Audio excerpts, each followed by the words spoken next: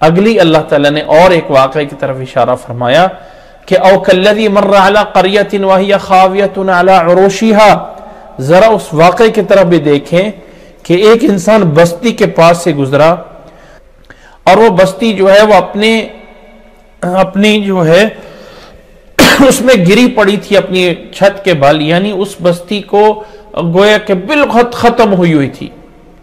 तो गुजरने वाले ने पास से कहा, अन्ना युहीबाद मोतिहा। कि अल्लाह ताला इसको, इसके बाद कैसे ज़िंदा करेगा? अल्लाह ताला इस बस्ती को कैसे जो है वो उठाएगा? अल्लाह ताला कैसे इसको जो है वो करेगा? अब ये शख्स कौन था जो बस्ती के पास से गुजरा और बस्ती जो है वो इस तरह हुई हुई थी? कुछ याद रख लें कि ये जो बातें होती हैं ना, कि कुरेदना कुरेद कुरेद के निकालना, बाल की खाल उतारना, ऐसी चीज़ों के, कि जिसका कोई मकसद ना हो। जिन चीज़ों को अल्लाह ताला ने बयान करने से तर्क कर दिया, उनको तर्क कर देना बेहतर है।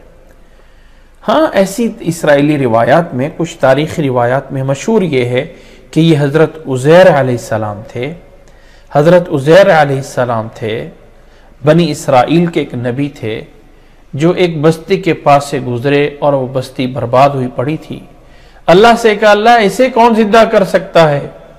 फ़मातामिन अल्लाह ने हज़रत उज़ैर को सौ साल तक मौत दे दी। सुम्मा बासा और फिर उसे उठाया। कालकम लबिस्त? से पूछा, कितनी देर जो है वो इस मौत में रहे हो? इस, यानी लाइलमी की ज़िंदगी में? काला लबिस तो यौ मनोबा भाइयों कि एक दिन या आधा दिन? काला, नहीं बल काला बल लबिस्त मीत आमिन। सौ साल तुम जो है इस अपनी मुर्दा होने की ज़िंदगी में रह के आए हो। फंजुर इला व शराबिक लम यतसन्ना। इस सौ साल के अरसे में ज़रा अपने इस खाने को भी देख ले, जो तेरे पास एक सौ साल पहले ये खाना था, वो उसी तरह पड़ा है, खराब नहीं हुआ है। वंजुर इलाहिमारी का और अपने गधे की तरफ़ देख, जिस पे सवार होके आ रहे थे। जिसकी हड्डियाँ जो है वो राख हो चुकी हैं कि कैसे अल्लाह ताला उसके ऊपर जो है उस उस गधे को जो है वो ज़िंदा करता है। और अल्लाह ताला ने फरमाया, वाली न जाला का आयत लिन्नास। तुझे हम लोगों के लिए निशानी बनाना चाहते हैं कि अल्लाह ताला हर चीज़ पे कादिर है। वली न जालक आयत लिन्नास, वंजुर इलाम कैफनुनशिदुहा सुम्मा नक्सुहा लहमा। कि इस देख किस तरह अल्लाह ताला हड्डियों पे गोद चढ़ाता है और किस तरह अल्लाह ताला पूरा करता है? फलम्मा तबयन लहू। जब सब कुछ वाजे हुआ, फरमाया, काल आलम अल्लाह कुल्ल शैन कदीर। मैं जानता हूँ कि अल्लाह हर चीज़ पे कादिर है। अल्लाह हर चीज़ पे कादिर है। अल्लाह ने फिर तीसरा वाक़ बयान फरमाया वद कौल इब्राहिम रब अरिनी कैफ़तुल मऊता इब्राहिम आसमाम ने भी एक मौके पे कहा था अल्लाह मुर्दों को कैसे तू ज़िंदा करेगा? ये नहीं है कि यकीन नहीं है। बस एक सवाल, एक इत्मीनान है कि एक कोई चीज़ मिसाल दे के दिखाई जाए, कैसे होगा? काल के फतुह काल इब्राहिम अरिनी मुझे दिखाए किस तरह मुर्दे ज़िंदा होंगे। काला अवलम क्या ईमान नहीं है?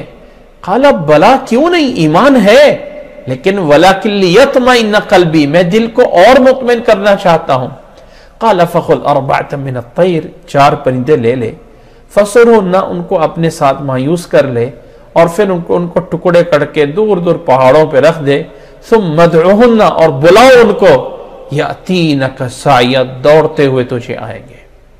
चार परिंदे, वो कहाँ कहाँ पड़े हुए हैं और उनकी हड्डियाँ बोडियाँ कहाँ हैं? तेरी आवाज़ पे सब दौड़ के आ जाएँगे। ये अल्लाह कर सकता है।